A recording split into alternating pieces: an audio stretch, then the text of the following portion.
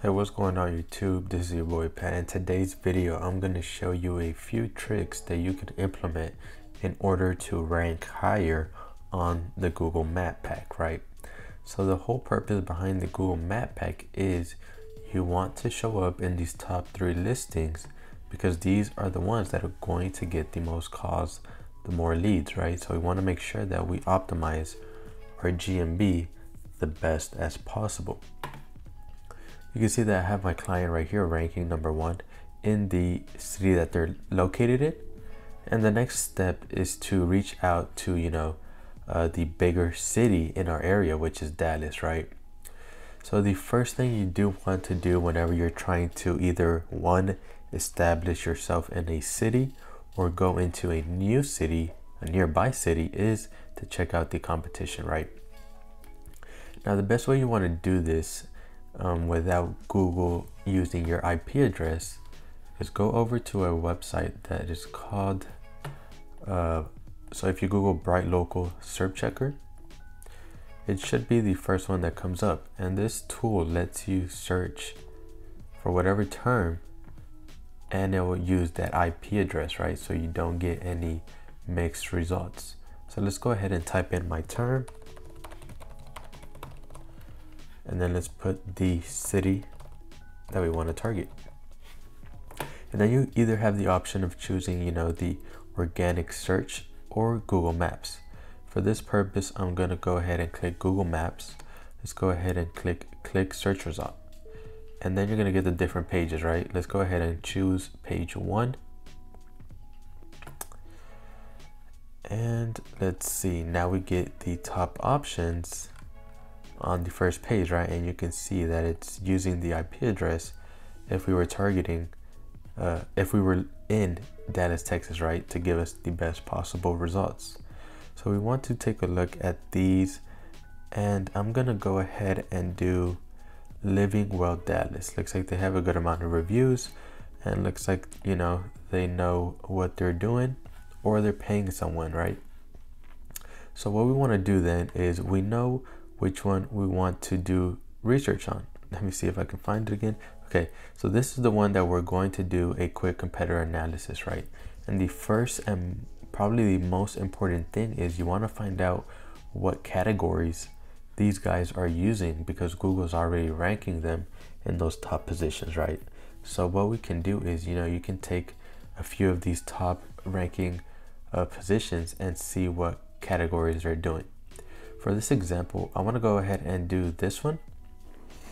And what you want to do is you first want to go over to Google Maps. So you want to go into Google Maps, right? And then you want to type in the exact name of the competitor.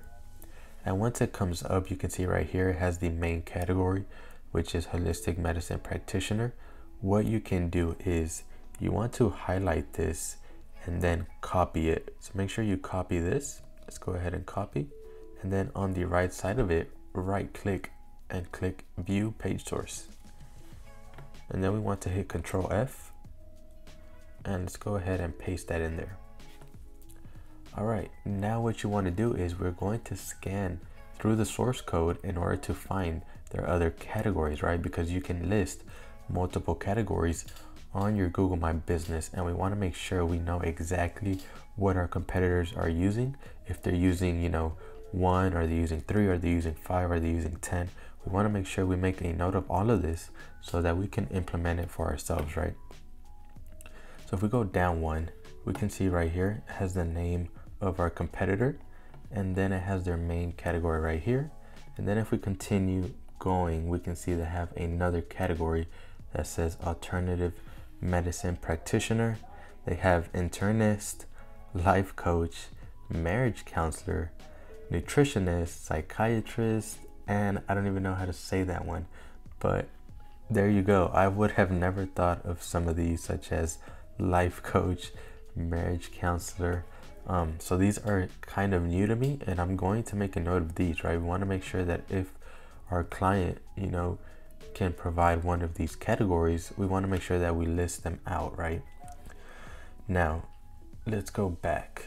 So you can go ahead and do this, you know, with you know, probably the top five competitors that you find on your Google Maps, right? So just go through here and do the same technique.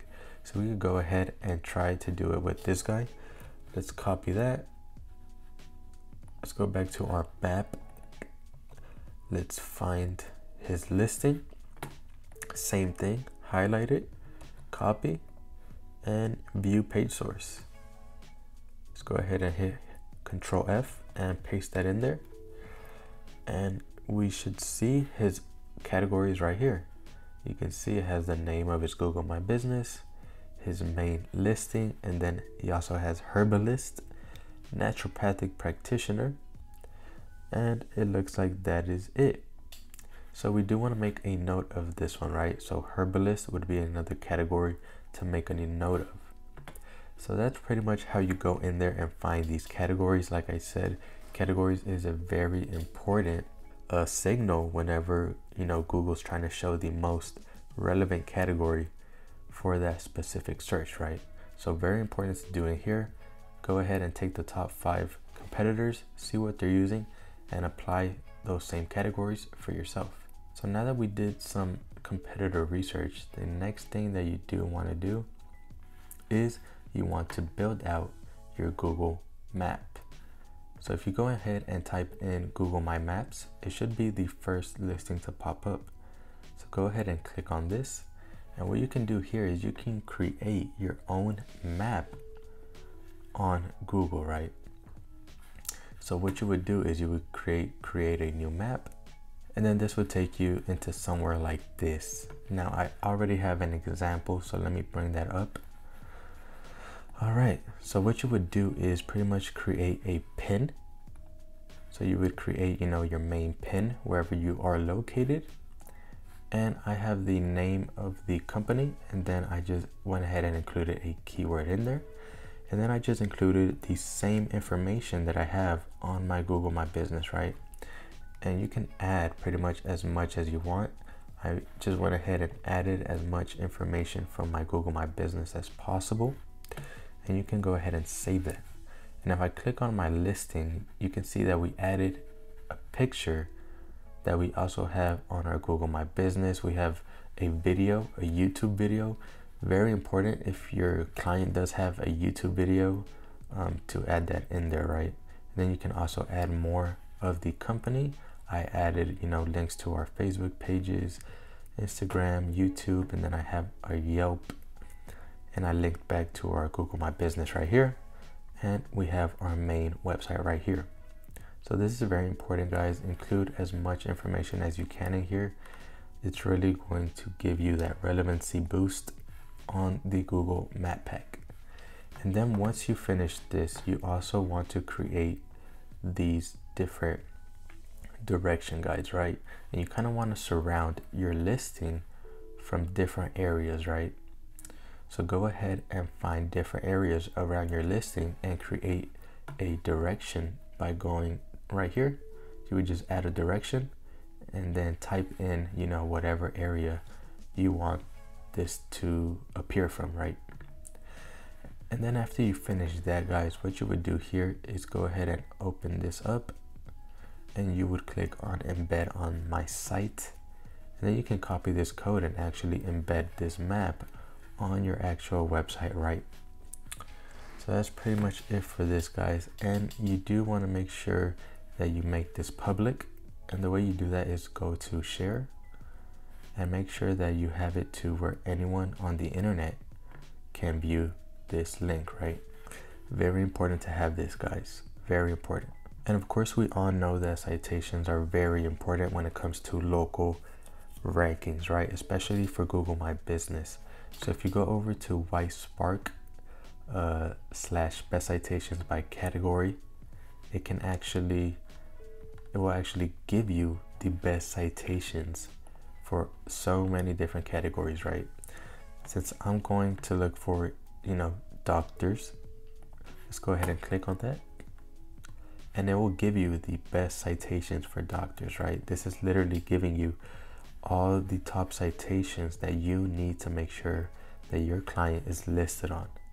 And it even gives you other pages that you could possibly get other backlinks from, right? You could even take a look through these and see if they accept any guest post. Uh, and you can write an article for them, right? So this is a very useful tool, guys, and it literally gives you pretty much any category. And you can do this in Canada, UK, Australia, right?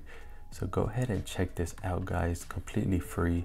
And it literally gives you the top citations that you need to be listed on for your category, right? And then you can go over to somewhere like Fiverr if you don't want to do this yourself. You can go in here and look for, you know, business citations USA.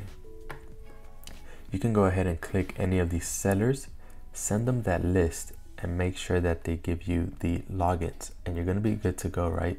This is very cheap to do. You can see it starts at $5, right? So make sure you pick one that you trust and you're going to be good to go. And the last tip that I have for you guys is to embed this map on different platforms, right? Like Web 2.0s.